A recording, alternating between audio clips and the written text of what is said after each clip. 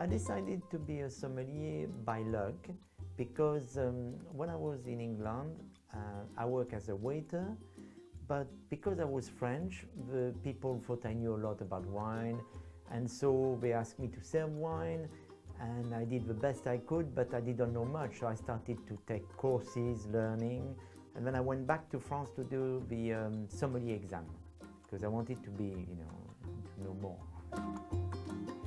And so I thought I'm going to be the best I can. When I started, um, I became very quickly a master sommelier because it's an English exam originally. Um, I passed uh, some competition in England, best sommelier in the UK, and then I wanted to have an international competition, so I did. Uh, there, were, there was a competition for the best international sommelier for French wine. I did it, I won it, and the best sommelier of Europe. And also in England, there is an exam called the Master Wine, become international. No, again, I enjoyed it. And then my dream was to become best sommelier in the world, so I, I did it.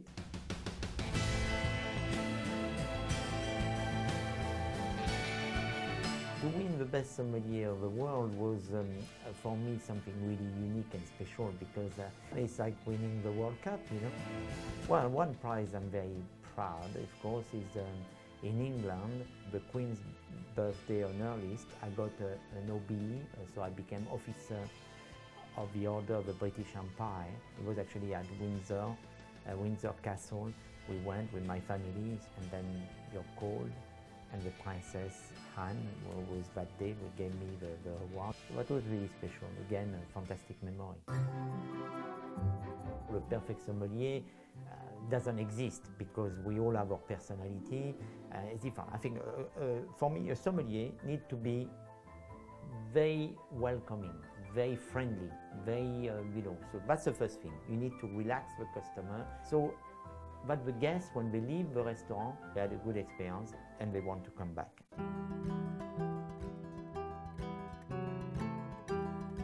Oh, there isn't a perfect wine. There is wine who excite you, give you emotion.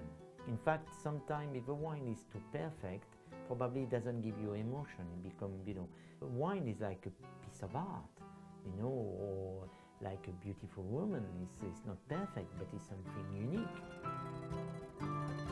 Amarone is quite a powerful wine, obviously, uh, a wine with uh, some wonderful aroma, strong, uh, probably less fruity but uh, uh, of a type of wine. But you know, the wine of Ebenose is very complex. You get this slightly truffle character. You get all sorts of aroma, and of course, on the palate, it's powerful, round.